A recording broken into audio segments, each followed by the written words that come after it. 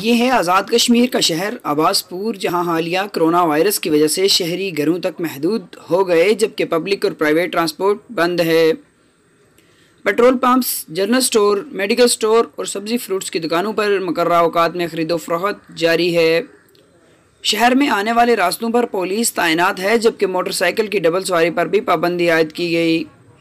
عباسپور میں عباسپورین social group انجمن تاجران محیر حضرات M T B C امید سوشل گروپ اور عباسپور یوتھ کی جانب سے کرنطینہ سینٹر کے قیام کے ساتھ ساتھ دہاڑی دار طبقے کو راشن بھی فراہم کیا جا رہا ہے۔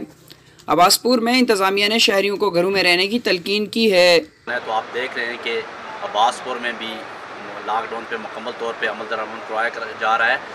شہریوں سے ہماری درخواست ہے کہ وہ گھروں میں محفوظ رہیں نماز جمعہ اور پنجگانہ نماز اپنے گھروں میں ادا کریں۔ عوام سے بالخصوص سب ڈویژن عباس پور کے لوگوں سے اپیل کرتا ہوں کہ یہ جو موجودہ صورتحال ہے کرونا وائرس کے حوالے سے اس میں غیر ضروری سفر سے اجتناب کریں اور غیر ضروری میل جول سے بھی پرہیز کریں تاکہ آپ اور آپ کی فیملی محفوظ رہ سکے۔ جی جیسا کہ آپ دیکھ رہے ہیں کہ عباس پور شہر میں مکمل لاک ڈاؤن ہے۔ اور میں یہ سمجھتا ہوں کہ انتظامیہ کی ڈیٹرنس تو ہے ہی ہے، لیکن اس کے ساتھ ساتھ اس لاک ڈاؤن کا جو مکمل سیر ہے، وہ یہاں کی تمام سیاسی جماعتوں، یہاں کے سماجی اور سیاسی طبقات عباس پور کی یوتھ اور عوامی علاقہ کے سر ہے۔